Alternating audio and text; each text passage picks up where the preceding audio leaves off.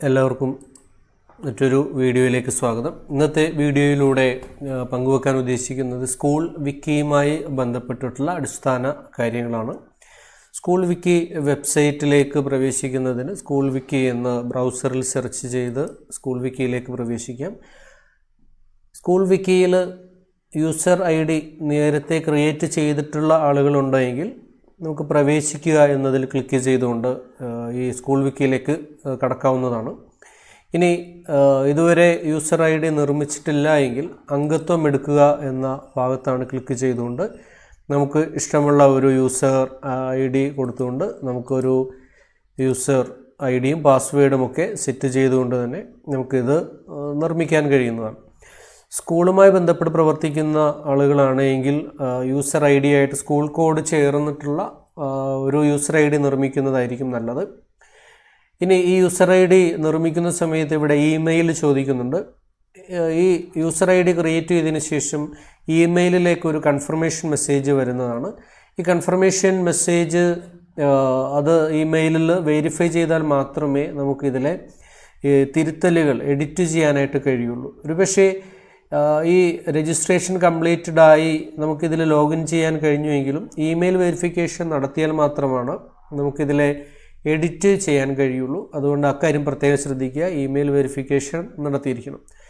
നമുക്ക് ഞാൻ ഓൾറെഡി ഇത് യൂസർ ഐ ഡി നേരത്തെ യൂസർ ക്രിയേഷൻ നടത്തിയിട്ടുള്ളതാണ്. അതുകൊണ്ട് ഞാനിനി പ്രവേശിക്കുക എന്ന ഭാഗത്തിലേക്കാണ് കടക്കുന്നത്. പ്രവേശിക്കുന്നതിന് ലോഗിൻ ചെയ്യുന്നതിന് പ്രവേശിക്കുക എന്ന ഭാഗത്ത് ക്ലിക്ക് ചെയ്ത് യൂസർ ഐ ഡിയും പാസ്വേഡും കൊടുത്തുകൊണ്ട് ഇതിലേക്ക് കയറുകയാണ്. ഇനി നമുക്ക് എഡിറ്റ് ചെയ്യേണ്ട സ്കൂൾ അതിന്റെ സ്കൂൾ കോഡ് അറിയാമെങ്കിൽ നമുക്കിവിടെ സെർച്ച് ചെയ്യുന്ന ഭാഗത്ത് സ്കൂൾ കോഡ് ടൈപ്പ് ചെയ്തുകൊണ്ട് നമുക്കതിലേക്ക് ക്ലിക്ക് ചെയ്താൽ നമുക്ക് നേരെ നമ്മുടെ സ്കൂൾ ആ പേജിലേക്ക് പ്രവേശിക്കാനായിട്ട് കഴിയുന്നതാണ്. ഇനി ഇതിൽ അടിസ്ഥാനമായി വരുത്തേണ്ട മാറ്റങ്ങൾ. നമുക്കറിയാം ഇതിന്റെ വലതു ഭാഗത്തൊരു ഇൻഫർമേഷൻ ബോക്സ് നമുക്ക് കാണാനായിട്ട് കഴിയും. അതുപോലെ അതിന്റെ സ്കൂളുമായി ബന്ധപ്പെട്ടിട്ടുള്ള ഒരു ഒരു ഫ്രെയിം നമുക്കിവിടെ കാണാനായിട്ട് കഴിയും. നമുക്കിതിലെ തിരുത്തലുകൾ വരുത്തണമെന്നുണ്ടെങ്കിൽ തിരുത്തുക എന്നൊരു ഓപ്ഷൻ ഇവിടെ കാണുന്നുണ്ട്. അതേപോലെ മൂലരൂപം തിരുത്തുക എന്നൊരു ഓപ്ഷനുണ്ട്. കോഡുമായി ബന്ധപ്പെട്ട് കൂടുതൽ കാര്യങ്ങൾ അറിയാവുന്ന ആളുകൾ മാത്രം മൂലരൂപം തിരുത്തുന്നതായിരിക്കും നല്ലത്. അല്ലെങ്കിൽ നമുക്ക് തിരുത്തുക എന്ന ഓപ്ഷനാണ് ചെയ്യാൻ കഴിയുക. ഇതിൽ ആദ്യമായി നമുക്ക് തിരുത്തേണ്ടത് ഇതിലെ വലതു ഭാഗത്ത് കാണുന്ന ഈ ഇൻഫോ ബോക്സാണ് ഇതിലേക്ക് ആദ്യം തിരുത്തേണ്ടത് ഇതിലെ വിവരങ്ങളെല്ലാം തന്നെ അപ്ഡേറ്റഡ് ആവേണ്ടതുണ്ട്. അതുപോലെ സ്കൂൾ ചിത്രം നമുക്കിവിടെ കൊടുക്കേണ്ടതുണ്ട്. അതുപോലെ ഒരു സ്കൂൾ ലോഗോ ഇവിടെ നമ്മൾ നിർമ്മിക്കേണ്ടതുണ്ട്. അപ്പോൾ ഇതാണ് ആദ്യഘട്ടത്തിൽ നമുക്ക് ഇതിലേക്ക് ചെയ്യേണ്ടത്.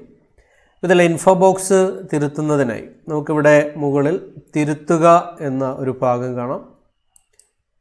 തിരുത്തുക എന്ന ഭാഗത്ത് ക്ലിക്ക് ചെയ്തതിന് ശേഷം ഇവിടെ കാണുന്ന ഇൻഫോ ബോക്സിൽ ഒന്ന് ക്ലിക്ക് ചെയ്താൽ അതിന്റെ താഴെ തിരുത്തുക എന്നൊരു ഓപ്ഷൻ നമുക്ക് കാണാൻ കഴിയുന്നതാണ്.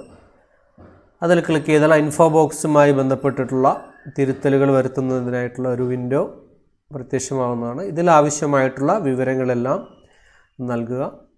ഇതിലെ ചിത്രം ചേർക്കുന്നതിനായി സ്കൂളിന്റെ ചിത്രം അതുപോലെ ലോഗോ ചേർക്കുന്നതിനായി ഇങ്ങനെ ലോഗോ എന്നൊരു ഒരു ഒരു വിൻഡോ ഒരു ടാബ് കാണാം. അതിൽ ചിത്രം അപ്ലോഡ് ചെയ്തതിന് ശേഷം ആ ചിത്രത്തിന്റെ പേരാണ് ഇവിടെ നൽകേണ്ടത്. അതെങ്ങനെയാണ് അപ്ലോഡ് ചെയ്യുക എന്നുള്ളത് നമുക്ക് നോക്കാം. നമുക്ക് ഇൻഫോ ബോക്സിൽ വരേണ്ട ലോഗോയും അതുപോലെ സ്കൂളിന്റെ ചിത്രവും പ്രത്യേകമായിട്ട് അപ്ലോഡ് ചെയ്തതിന് ശേഷം അതിന്റെ പേര് ആ ചിത്രത്തിന്റെ പേര് മാത്രമാണ് ഇവിടെ നൽകുക. മറ്റു ചിത്രങ്ങളൊക്കെ തന്നെ നമുക്ക് നേരിട്ട് എഡിറ്റ് ചെയ്യുന്ന സന്ദർഭത്തിൽ തന്നെ ഇൻസേർട്ട് ചെയ്യാൻ സാധിക്കുന്നതാണ്. പക്ഷേ ഇൻഫോ ബോക്സിലുള്ള ഈ ലോഗോയും അതുപോലെ സ്കൂളിന്റെ ചിത്രവും അപ്ലോഡ് ചെയ്തതിന് ശേഷം അതിന്റെ പേരാണ് അതിന്റെ ഒരു കോളത്തിലേക്ക് ചേർക്കേണ്ടത്. ഇനി ഒരു പക്ഷേ ഇങ്ങനെ നോക്കുന്ന സമയത്ത് നമുക്കിതിലെ എല്ലാ ഇൻഫോ ബോക്സിലെ എല്ലാ കോളങ്ങളും കിട്ടുന്നില്ല. ഇപ്പോൾ സ്കൂൾ കോഡിന്റെ അല്ലെങ്കിൽ ലോഗോയുടെ ഒക്കെ കോളം കിട്ടുന്നില്ല എങ്കിൽ ചെയ്യാവുന്ന ഒരു മാർഗം. മറ്റേതെങ്കിലും ഒരു സ്കൂൾ സെർച്ച് ചെയ്തതിന് ശേഷം അതിന്റെ ഇൻഫോ ബോക്സിന്റെ മൂല രൂപം തിരുത്തുക എന്ന ഭാഗമുണ്ട്. മൂലരൂപം തിരുത്തുക എന്നുള്ളതിലെ ആ സ്കൂളിന്റെ ഈ കോഡുകൾ കോപ്പി ചെയ്തതിന് ശേഷം നമ്മുടെ സ്കൂളിന്റെ ഈ മൂലരൂപത്തിലേക്ക് കൊണ്ടുവന്ന് പേസ്റ്റ് ചെയ്യാവുന്നതാണ്. അതിനുശേഷം നമ്മുടെ സ്കൂളിന്റെ പേര് കോഡുകൾ ഇതൊക്കെ തന്നെ തിരുത്തിയാൽ നമുക്കൊരു പൂർണ അർത്ഥത്തിലുള്ള ഇൻഫോ ബോക്സ് ലഭിച്ചേക്കും. അതാണ് ഇൻഫോ ബോക്സുമായി ബന്ധപ്പെട്ട് ചെയ്യേണ്ട വർക്ക് ഇനി ഈ ഇൻഫോ ബോക്സിലേക്ക് ആവശ്യമായിട്ടുള്ള ചിത്രം നമുക്ക് ചേർക്കണം. അല്ലെങ്കിൽ ലോഗോ ചേർക്കേണ്ടതുണ്ട്. അതിനായി ചിത്രം പ്രത്യേകമായിട്ട് അപ്ലോഡ് ചെയ്യണം. ചിത്രം പ്രത്യേകമായിട്ട് അപ്ലോഡ് ചെയ്യുന്നതിന് അപ്ലോഡ് എന്ന ഭാഗത്ത് ക്ലിക്ക് ചെയ്യുക. ഇത് പ്രധാനമായിട്ട് ഇൻഫോ ബോക്സിലെ ലോഗോയും അതുപോലെ സ്കൂളിന്റെ ചിത്രത്തിന് മാത്രം മതിയാവും. മറ്റുള്ള ചിത്രങ്ങളൊക്കെ തന്നെ നമുക്ക് ഡയറക്റ്റായിട്ട് ചേർക്കാവുന്നതാണ്. ഇതിലെ അപ്ലോഡ് എന്ന സ്ഥലത്ത് ഒരു രണ്ട് എം ബിയിൽ താഴെയുള്ള ഒരു ചിത്രമായിരിക്കണം നമുക്ക് കൊടുക്കേണ്ടത് അപ്പോൾ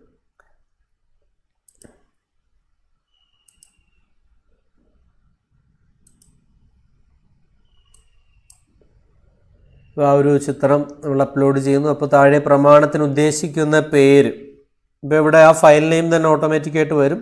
ഇനി നമുക്കെപ്പോഴും പേര് നൽകുമ്പോൾ സ്കൂളിന്റെ കോഡ് കൊടുത്തതിന് ശേഷം എപ്പോഴും നൽകുന്നതാണ് നല്ലത്. കാരണം ഇതേ പേര് തന്നെ മറ്റേതെങ്കിലും സ്കൂളുകൾ ഉപയോഗിക്കുന്ന ആ ഒരു ആശയക്കുഴപ്പം ഇല്ലാതിരിക്കുന്നതിന് വേണ്ടിയിട്ടാണ്. ഏത് ഫയലിന്റെ പേര് കൊടുക്കുമ്പോൾ നമ്മുടെ സ്കൂളിന്റെ കോഡ് കൂടെ ആദ്യം കൊടുക്കുന്നത് വളരെയധികം നല്ലതായിരിക്കും. അത്തരത്തിൽ ആ പ്രമാണത്തിന്റെ നമ്മൾ ഉദ്ദേശിക്കുന്ന ഒരു പേര് കൊടുത്തതിന് ശേഷം ഇവിടെ താഴെ പ്രമാണം അപ്ലോഡ് ചെയ്യുക എന്നുണ്ട്. അപ്ലോഡ് ചെയ്ത് കഴിയുമ്പോൾ നമുക്ക് ആ ഒരു പേര് സേവ്ഡായി നമുക്ക് കിട്ടും. ഇനി ഈ പേരാണ് ഇൻഫോ ബോക്സിലെ ചിത്രത്തിന്റെ അവിടെയും അതുപോലെ ലോഗോയുടെ ഭാഗത്ത് നമ്മൾ ചേർക്കേണ്ടത്. ഇനി മറ്റു തിരുത്തലുകൾ എങ്ങനെയാണ് വരുത്തുക എന്ന് നോക്കാം.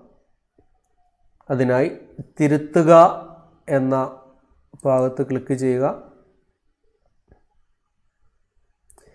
അതിന് ശേഷം നമുക്ക് ഏതാണോ തിരുത്തേണ്ടത് ആ ഭാഗത്ത് ക്ലിക്ക് ചെയ്തുകൊണ്ട് നമുക്ക് ഡേറ്റ ടൈപ്പ് ചെയ്ത് ചേർക്കാം. അതുപോലെ അതിലേക്ക് ഏതെങ്കിലും ലിങ്കുകൾ ചേർക്കണമെന്നുണ്ടെങ്കിൽ അങ്ങനെ ചേർക്കാം. അതുപോലെ ചിത്രങ്ങൾ ചേർക്കണമെങ്കിൽ ഉൾപ്പെടുത്തുക എന്ന ഭാഗത്ത് ചിത്രങ്ങളും മീഡിയയും. അപ്പോൾ ഇതെല്ലാം നേരത്തെ ഈ യൂസർ അപ്ലോഡ് ചെയ്തിട്ടുള്ള ചിത്രങ്ങളൊക്കെ നമുക്ക് നമുക്ക് ഇതിൽ കാണാൻ കഴിയും. ഇനി അതല്ല പുതുതായിട്ടൊരു ചിത്രമാണ് ചേർക്കുന്നതെങ്കിൽ പ്രമാണം തിരഞ്ഞെടുക്കുക എന്നതിലൂടെ നമുക്കൊരു പുതിയ ഒരു ചിത്രം ഇതിലേക്ക് ചേർക്കാനായിട്ട് കഴിയുന്നതാണ്.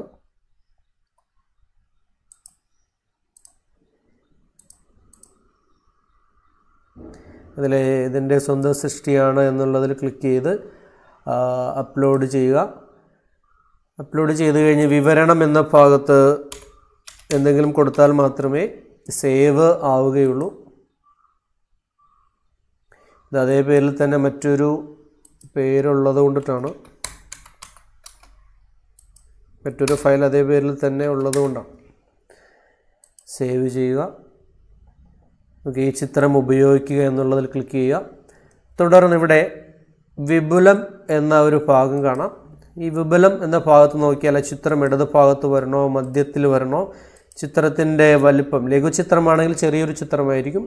ഇനി അതൊരു വലിപ്പം കൂട്ടണമെങ്കിൽ ചട്ടമില്ലാത്തത് അത് അടുത്ത ഓപ്ഷനുകൾ തിരഞ്ഞെടുത്ത് നമുക്ക് ഉൾപ്പെടുത്തുക എന്ന ഭാഗത്ത് ക്ലിക്ക് ചെയ്യുന്നതോടുകൂടി ആ ചിത്രം ആ ഭാഗത്തേക്ക് വരുന്നതാണ്.